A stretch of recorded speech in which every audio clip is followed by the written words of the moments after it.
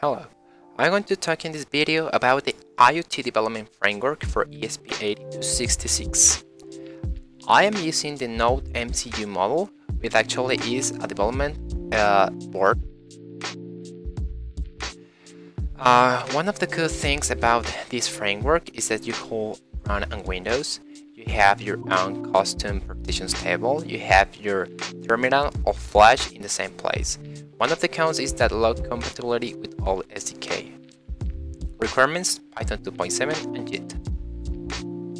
Other links, I have the link of the complete manual, which I based a Python script with each in my drive file. Uh, complete manual I will show you a little bit just uh, for educational purposes. So uh, here are all the instructions that you can follow if you want to manually.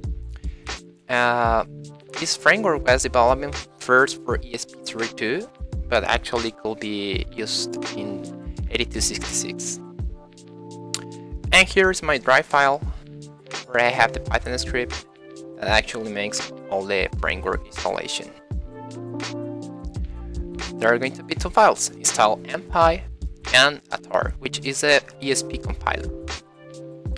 So just go to cmd to your folder and then just run the Python script.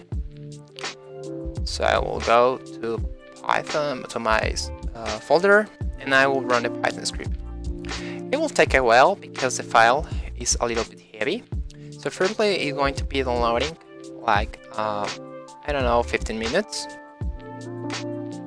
and then they will decompress the MSYS terminal, which actually is the file we are downloading and decompressing. Then we will clone the ESP RTOS SDK and we will change our branch to 3.2. And that's done by the Python script, so don't have to worry about it. Okay, installation is finished and we will go to Windows C.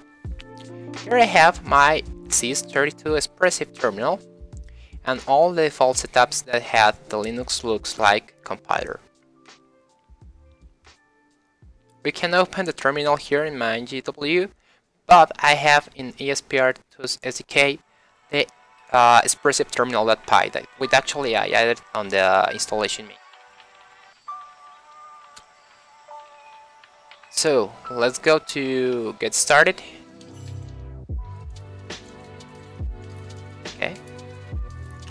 And then project template.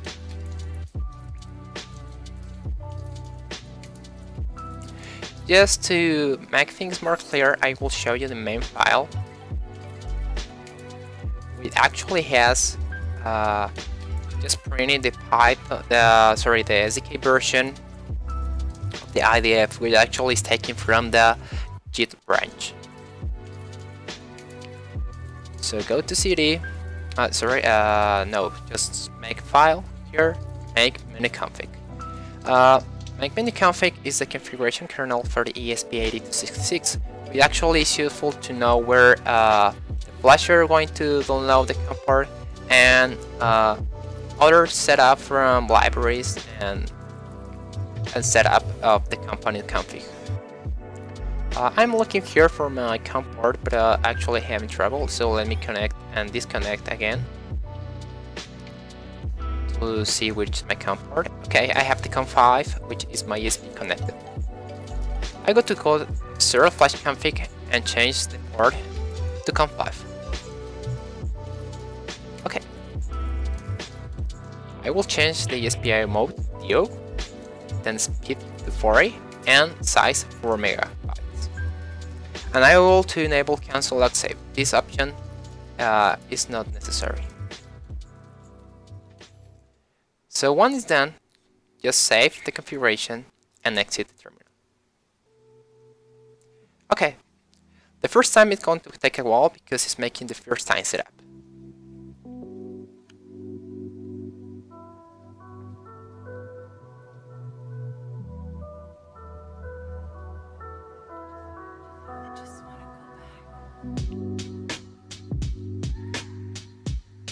Just when it's done, you can type a new make file, a new make uh, command, sorry, which is all flash monitor.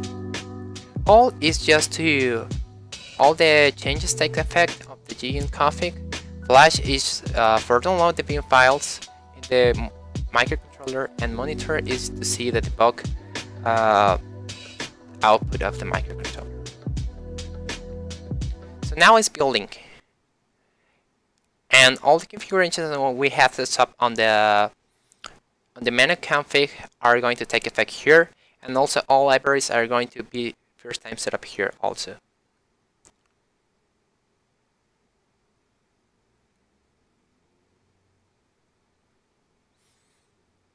As you can see when it's finished, the bin file that is what that is has been made from the uh, compilation is going to be downloaded here in this part of the flash. So it's flashing now, and later it's going to display the output of the monitor. Which actually is the code that we have seen before, SDK version 3.2.